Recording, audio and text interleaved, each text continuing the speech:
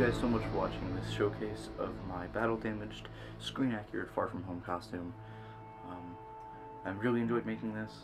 I think that these type of videos are going to be a lot more present on my channel just because the quality is better and I don't know, I just enjoy making them a little bit more than my regular reviews because I actually get to suit up and give you guys different angles and stuff and I could do that in regular reviews too but it's not the thing that I used to do so we're changing things up a little bit.